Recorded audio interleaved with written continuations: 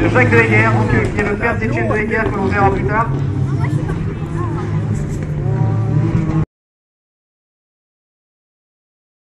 Le pilote de la Subaru.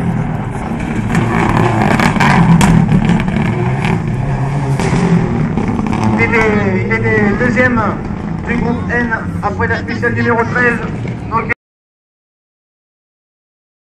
Donc derrière Vivien Massé avec la Subaru grise, bah, que voilà une nouvelle fois.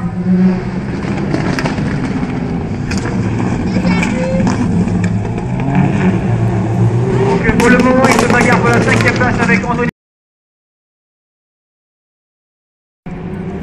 Et voilà maintenant le Laurent Gaillard à bord de la Toyota Celica GT4. Il est actuellement quatrième sur rallye. Quatrième du rallye à fin le temps est voilà Vincent. Vincent Christian. Avec le Corolla donc.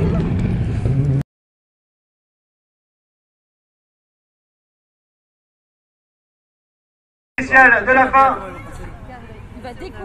Ah, s'il termine la spéciale, c'est quasiment gagné pour lui. Et le voilà. La très belle Subaru bleue, la très connue.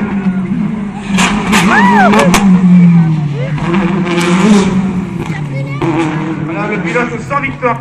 Il a réussi à gagner 100 victoires durant beaucoup de, beaucoup de saisons. 100 victoires totales. Et euh, José est bien sûr le dernier euh, pilote à avoir gagné le Rallye d'Alice